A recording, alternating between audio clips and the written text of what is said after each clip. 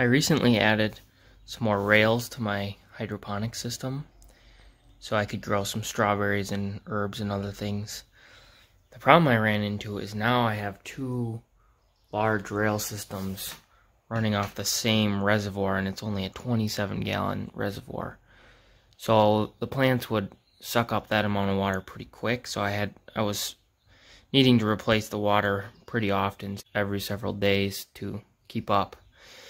So I decided I need to increase the size of the reservoir somehow. One option would be to just buy a bigger reservoir. But um, I didn't really want something bulkier in this area because I don't have a lot of room to begin with. And then also, um, I can't have anything any taller because this rail here drains out into the reservoir. So it needs to be going down to drain out. So what I decided to do is try to add another reservoir and then connect the two. The setup is pretty simple. We have a female conduit fitting that will screw onto the male conduit fitting in the um, wall of the tank will be right here. So this will clamp to the wall of the tank. There's an O-ring here to help seal it.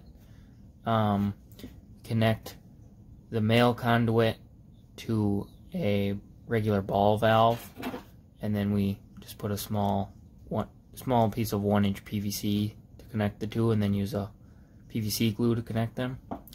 Then on the other side we have the same thing with uh, another small section of PVC pipe connected to a union and then this will allow you to screw this side to the other side.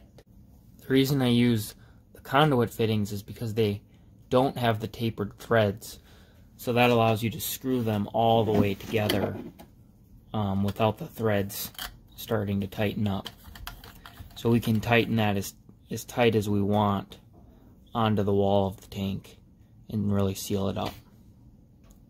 Here you can see the assembly actually attached to the reservoir. So we have most of it out here. And then on the inside you have the female conduit fitting that's screwed down to really tighten it up against the wall of the reservoir. The O-ring is on the outside and that seals um, this from any water coming through the threads.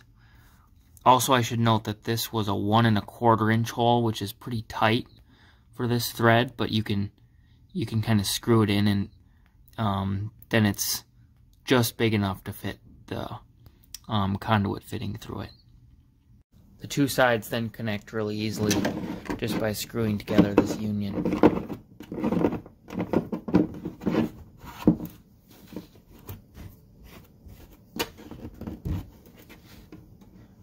And then if you ever have to disconnect it, it's just as easy to loosen it up and take the tanks apart. Now the reason that I use two ball valves here because then you can isolate both tanks.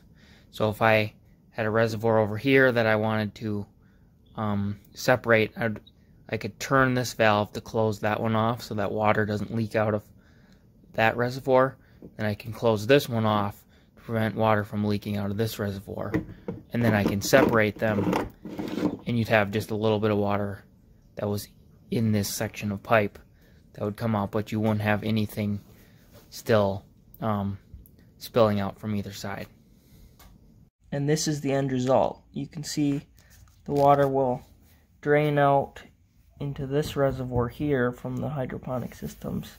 The water will go through and then the pumps are in this reservoir so the water will be pumped back up into the rails from this side then if I ever have to um, pull one of the reservoirs out for some reason or replace them or whatever make a repair I can turn each one off and then pull one out without having to drain out the entire thing. So this allows me to isolate either one. I'm using this several weeks and there's been no sign of leaks at either either one. Even though they're right right at the bottom of the reservoir, I thought maybe the higher pressure would cause a problem, but it hasn't so far. So it seems like these are totally watertight. Another advantage of having the two separate reservoirs is that now I can access the reservoirs through this one, which is in the open. So if I need to add water or um, pump water out when I'm doing a water change, I can easily do that by accessing this one. But the one underneath would be very difficult to access otherwise. But since they're connected, as long as I add water to this one, it'll flow through and level out in the other one. So this allows me easy access to the system with, but still allows me to um, hide a lot of it underneath. Thanks for watching. Stay tuned for more videos including an update on our strawberries and herbs. And also, as always, check out our website in the description to see a tutorial on how to build a system just like we have.